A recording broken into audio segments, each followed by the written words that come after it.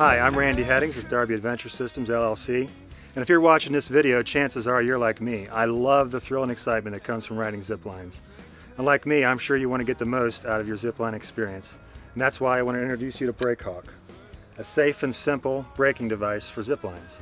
No more grabbing the cable, trying to brake, no more swinging around when you hit a bungee brake. With BrakeHawk, you will reach your destination with stealth and confidence.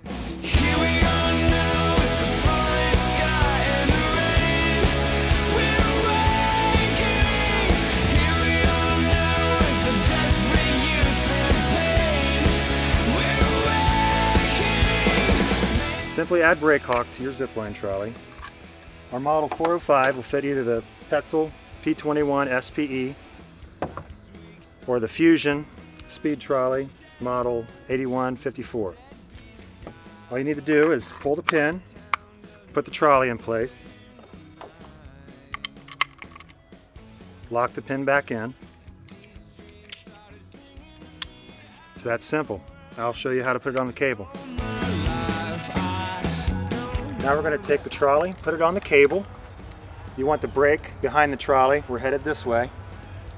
Take your carabiner that's attached to your harness, lock it in. Now you just take your dominant hand and put it here on the hand grip. You can take your other hand and either put it on top of the trolley or hang on to your harness strap, whatever's more comfortable for you. And then as you want to slow down, you just lean back on the brake and it'll do the stopping for you.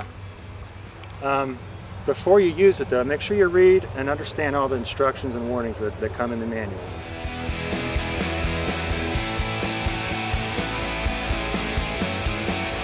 I'm going to take some time to show you how to change a brake pad.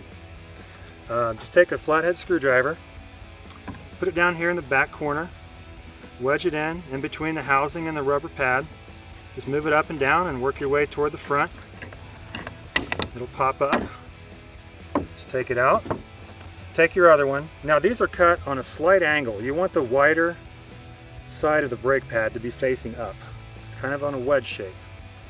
So check that out. Slide it in here. Just lay it in there at an angle. Make sure it's even in the back here.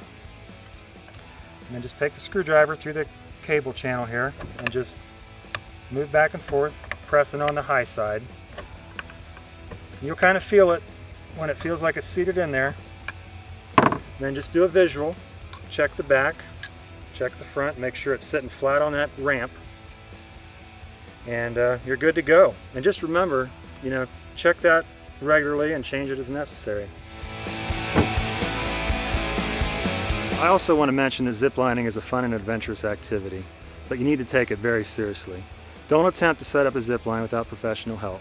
Zip lines need to be installed with the proper slope and the right equipment or serious injury, even death can occur. You need to accept all and full responsibility for the safety of your zip line. So please be careful. Now go do some hardcore zip lining. Just remember to take a break.